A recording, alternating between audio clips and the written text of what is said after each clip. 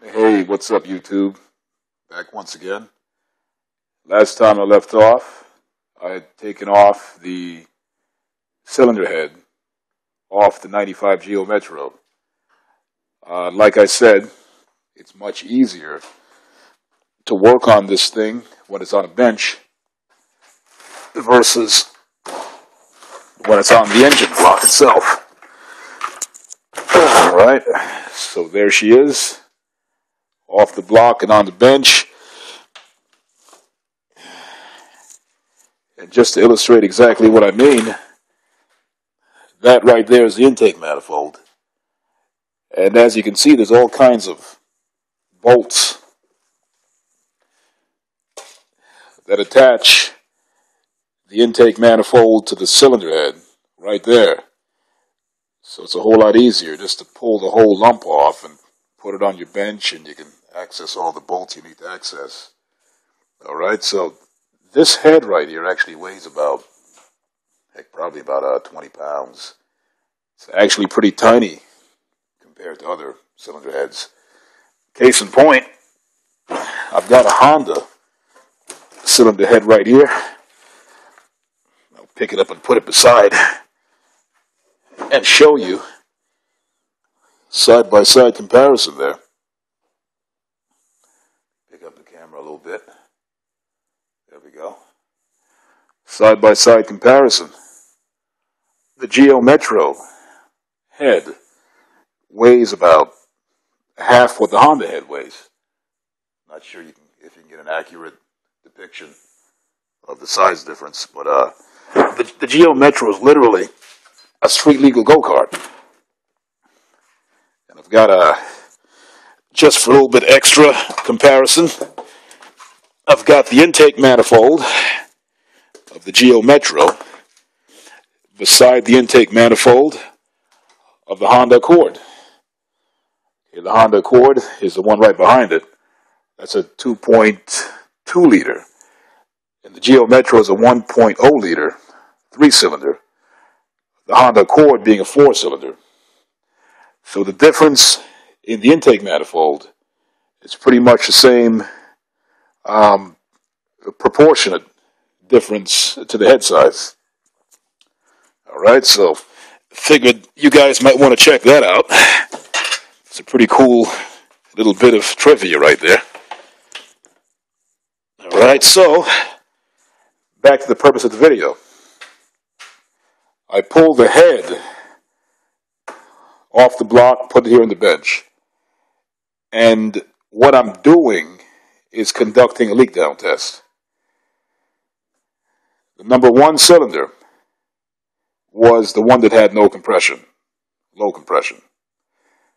I was able to diagnose the problem by first, according to one of the previous videos, applying an air nozzle and there was air leaking out of the exhaust valve right there.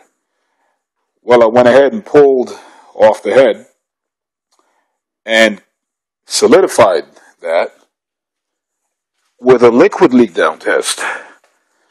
Okay, I've got some alcohol here. And just to demonstrate to you exactly what I mean, I'm going to go ahead and pour some alcohol in number three, number two, and number one. Observe the exhaust port of number one.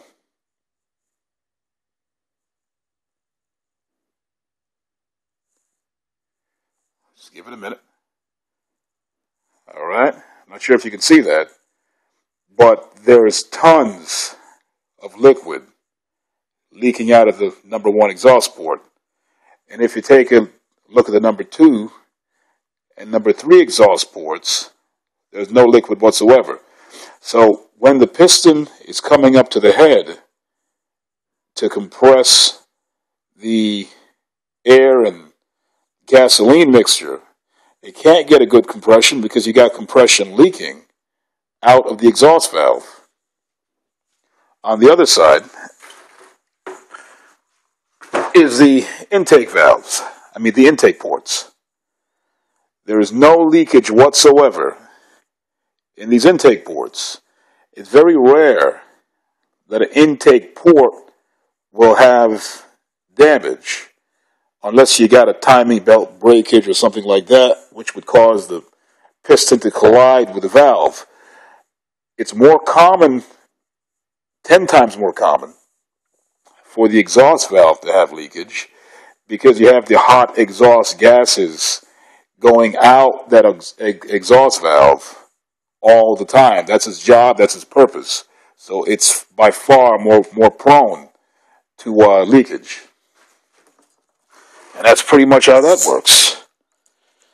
And for you guys out there that don't know how this all works, I'll make another video explaining to you how the valves work, what makes it open and close, for those of you who are not too sure about that.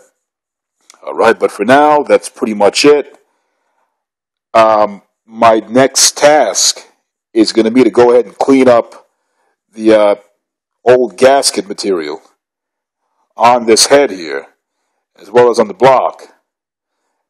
Extract the exhaust, the bad exhaust valve.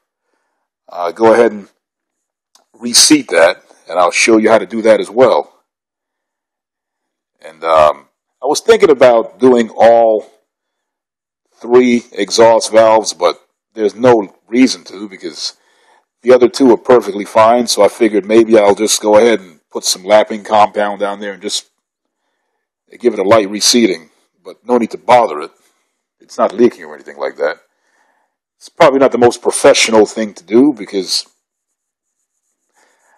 you professionals out there are probably saying, "Oh, go ahead and do the whole thing because it's just going to leak later." Well, this is it's going to be my daily driver, um, and if worse comes to worse, and I do run into problems in the future, it's going to be a weekend job to go ahead and just pop this off again. But like I said, I see no reason to at this point.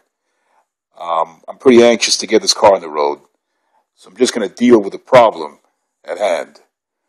All right, so that's pretty much it, guys. If you uh, have any questions or comments, go ahead and post it. Until next time, later.